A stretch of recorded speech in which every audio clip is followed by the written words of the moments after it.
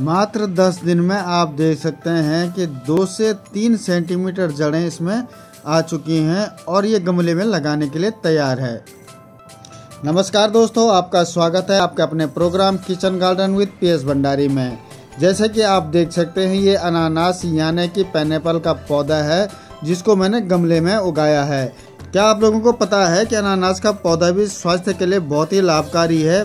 ये 24 घंटे ऑक्सीजन देता है। आप इसको इंडोर आउटडोर कहीं भी लगा सकते हैं। इसको बहुत कम पानी की ज़रूरत होती है और ये हवा को भी साफ़ करता है। तो अनानास के साथ साथ इसका पौधा भी हमारे लिए बहुत ही ज़्यादा बेनिफिट वाला है। इसको आप रूम में भी आराम से लगा सकते हैं। तो इसको गमले में उगाना भी बहुत ही आसान है। जो इसका फल होता है, इसमें विटामिन ए और विटामिन सी भरपूर मात्रा में होता है। आजकल की महामारी में विटामिन सी भी बहुत ज़रूरी है। और इसके आप देख सकते हैं कि मैंने इसको गिलास में पानी में रखा था और ये तीन चार सेंटीमीटर लंबे हो चुके हैं। अब ये गमले में लगाने के लिए बिल्कुल तैयार हैं। अनानास के सेवन से सर्दी, खांसी, सूजन गले में खराश और गठिया जैसी बीमारियों में भी लाभकारी है। यह पाचन को भी ठीक करता है। दिन में दो तीन बार इसका सेवन करने से उम्र बढ़ती है और साथ में आँखों की रोशनी के लिए भी ये बहुत फ़ायदेमंद है। कैंसर फतरी जैसी बीमारी में भी ये फ़ायदा देता है। ब्लड प्रेशर को भी ये नियंत्रण में रखता है, बदहजमी को दूर करता है, मोटापे को भी ये नियंत्रण में रखता है और चर्बी को भी ये गला देता है। तो इसको उगाने का सबसे बढ़िया तरीका यही है कि आपने मार्केट से एक अनानास लेना है अनानास आपने कच्चा नहीं लेना है, थोड़ा पका हुआ लेना है। तो पका हुआ जिसमें पीला कलर थोड़ा सा ज़्यादा होगा तो वो अनानास समझ लो पका हुआ है। और इसके जो ऊपर का ये हिस्सा है, इसी से हम नया पौधा ग्रो करेंगे। तो इस ऊपर का हिस्सा हम इसको काट देते हैं। और जो इसमें जो पत्तियाँ हैं, नीचे के हिस्से में उनको हम निकाल देंगे। अगर उनको हम इसी में रखेंगे तो ये पत्तियाँ जो है पानी में सड़ जाएँगी तो ये जड़ें भी इसमें ख़राब हो जाएँगी। तो इसकी पत्तियाँ निकालना बहुत ही ज़रूरी है।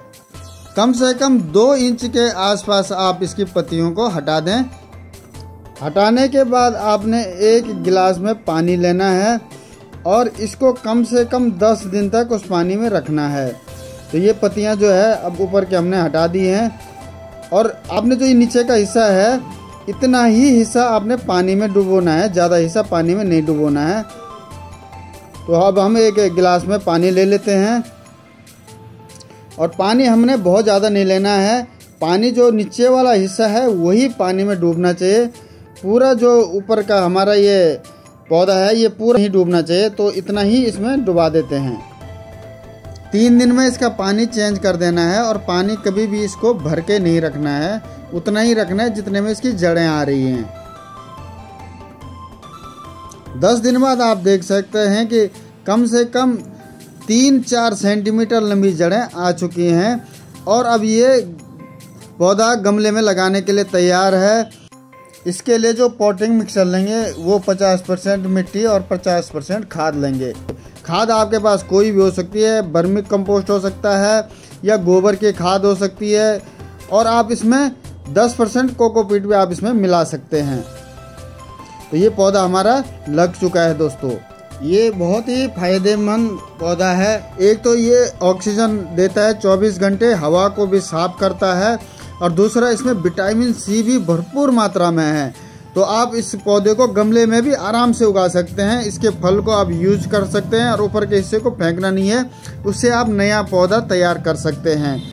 आजकल धूप बहुत तेज है, गर्मी बहुत ज़्यादा है तो आप ग्रीन नेट में या छाया में या इंडोर में भी इसको रख सकते हो। दोस्तों, ये जानकारी वाले वीडियो को ज़्यादा से ज़्यादा लोगों तक शेयर करें। इसके बारे में जानकारी मिले, लोगों को इसका फ़ायदा मिले। तो दोस्तों, कैसा लगा ये वीडियो? अच्छा लगा हो तो ज़्यादा से ज़्यादा लोगों को शेयर करें सब्सक्राइब करें लाइक करें। घंटी ज़रूर दबाना ताकि हर वीडियो की नोटिफिकेशन आपको मिल जाए। वीडियो देखने के लिए बहुत बहुत धन्यवाद।